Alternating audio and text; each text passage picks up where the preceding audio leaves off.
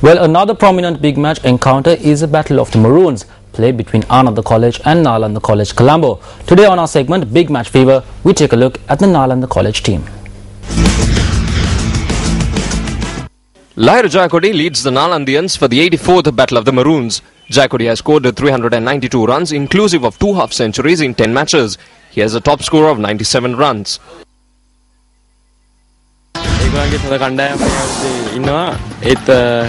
They have a good team this time, but I believe that Nalanda has a better team. We have observed them and we have identified their weak points. We plan to pressurize them and dismiss them for a low score and win the big match. කල්ලා දවා ගන්න අපි plan කළ දින මේ ජයග්‍රහණ තමයි ඉතින් බලාපොරොත්තු වෙන්නේ මේ අවුරුදු The Nalanda College cricket team consists of seven batsmen, two spinners and five pace bowlers. ඔවුන් සතු වෙපන්සේ ගැන හොඳම Krida Vilashan. Their weapon is the playing style, coaching and strategies. We are ready to face the challenges. We think we can win this year.